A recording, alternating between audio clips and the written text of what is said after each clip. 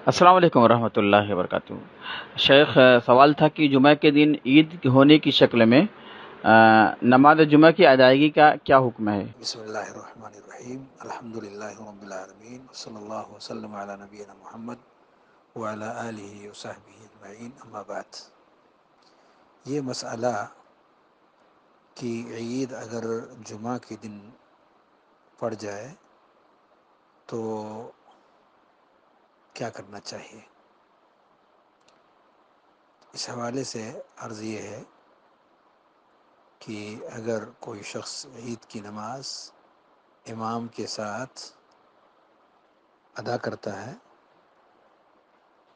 और उसे ईद की नमाज़ मिल जाती है तो उसके लिए इजाज़त है कि जुमा के खुतबे में शरीक हो। या उसमें शिरकत न करके अपने घर के अंदर वो जहर की नमाज़ अदा कर ले।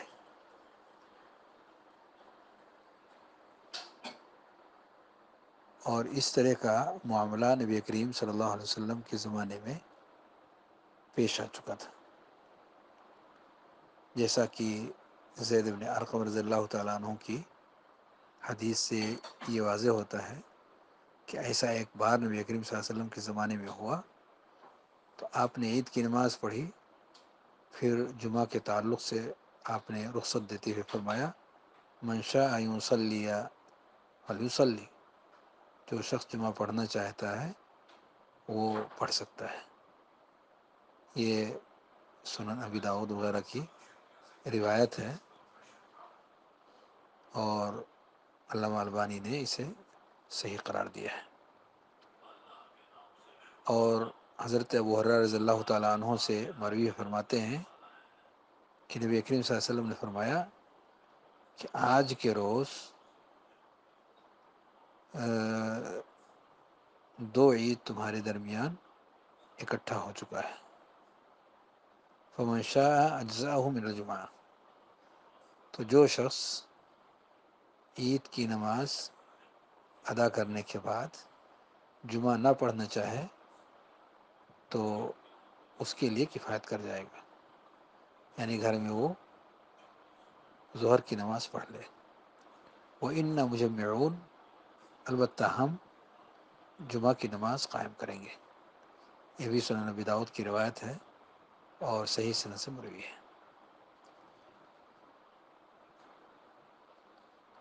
एक और रिवायत हज़रत अब्दुल्ला इब्न उमर रज़ी तुमा से है कि आपने लोगों को नमाज़ पढ़ाया, उसके बाद कहा मनशा थी अलजुमा फलियाती है जो शख्स जुमा में आना चाहे, वो आ सकता है। वो मनशा तखल्लफ खल्लफ और जो शख्स अपने घर में रुकना चाहता है, वो रुक सकता है।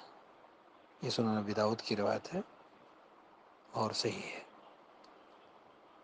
इबन अब्बास रज़ल्ला की रवायत में है कि दो ईद जब नबी करीम वसल्लम के ज़माने में इकट्ठा हुआ तो आपने फरमाया कि आज के दिन दो ईद तुम्हारे दरमियान इकट्ठा हो गया है। फमन शाह अज्जा नजमाती व इन मुजम्मन इन जो शख्स चाहे ईद की नमाज़ अदा कर लेने के बाद कि वो जुमा में ना आए तो ये उसके लिए किफ़ायत करेगा। अलबत् हम जुमा की नमाज़ ज़रूर कायम करेंगे। ये भी इबन माजा की रवायत है। मालूम यह हुआ कि जुमा की नमाज़ उस शख्स के लिए जिसने ईद की नमाज़ इमाम के साथ अदा की हो, वाजिब नहीं है कि वो जुमा की नमाज़ भी कायम करे। बल्कि उसे इख्तियार है, जो शख्स ईद की नमाज़ पढ़ चुका है, इमाम के साथ उसे इख्तियार है, चाहे तो जुमा की नमाज़ के लिए मस्जिद में तशरीफ़ लाए और चाहे तो जुमा की नमाज़ के लिए मस्जिद में ना आए, बल्कि अपने घर के अंदर जहर की नमाज़ पढ़ ले। दूसरी बात ये मालूम हुई कि ये अफजल है जुमा की नमाज़ अदा करना, क्योंकि नबी करीम वसल्लम ने यही अमल इख्तियार किया है। तीसरी बात यह कि इमाम को चाहिए कि वो जुमा की नमाज़ हर हाल में कायम करे। ईद की नमाज़ पढ़ लेने के बाद, पढ़ाने के बाद उसे चाहिए कि जुमा की नमाज़ भी कायम करे। मसाजिद को जुमा की मसाजिद को यूँ ही नहीं छोड़ा जा सकता, बल्कि ईद की नमाज़ भी कायम करेंगे और जुमा की नमाज़ भी कायम करेंगे। इख्तियार सिर्फ़ उन्हें होगा जो मुसलियान में से ईद की नमाज़ इमाम के साथ अदा किए हैं। वो चाहें तो जुमा में शरीक हों और चाहें तो घर पर रुक करके जहर की नमाज़ अदा कर लें। एक बात ये भी मालूम हुई कि जहर की नमाज़ घर में पढ़नी है, मस्जिद के अंदर नहीं।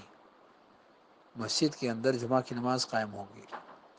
तो मसाजिद जुमा की नमाज़ से कायम होंगे, जो जहर की नमाज़ पढ़ने वाले लोग मस्जिद में आकर के जहर की, जहर का अजान नहीं देंगे, बल्कि घरों में अदा करेंगे। यानी ये रुख्सत जो लोग भी इसे अपनाना चाहते हैं, वो जहर की नमाज़ अपने घरों के अंदर अदा करेंगे, ना कि मसाजिद के अंदर, मसाजिद के अंदर जुमा कायम होगी। अलबत्ता जो लोग ईद की नमाज़ में शरीक नहीं हो सके, उनके लिए रुख्सत नहीं है।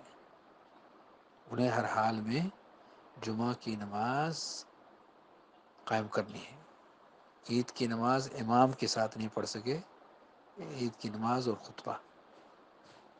तो उनके लिए ये रुख्सत नहीं है कि वो जुमा पढ़ें या जहर पढ़ें।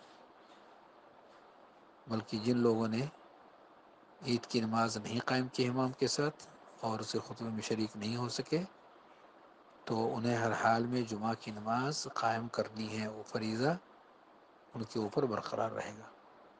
वहाँ ऐसे लोगों के लिए रुख्सत नहीं होगी। ये जुमा के हवाले से चंद बातें इस मुनासबत से पेश की गई कि दो ईद अल्हम्दुलिल्लाह इकट्ठी हो रही है अल्लाह रब्बुल आलमीन के फजल करम से। ईद फितर और हफ़्ते की ईद जुमा कल के रोज़ अल्हम्दुलिल्लाह ये इकट्ठी होंगी। तो हमें इस ताल्लुक़ से वही मौक़ इख्तियार करनी चाहिए जो नबी करीम वसल्लम और आपके साथियों, सहाबा ने अपनाया और इख्तियार किया। अफजल और बेहतर को इख्तियार कर लें और रुख्सत पर भी अमल कर सकते हैं। जजाकम्ला खैर। अल्लाम वरहमल वर्क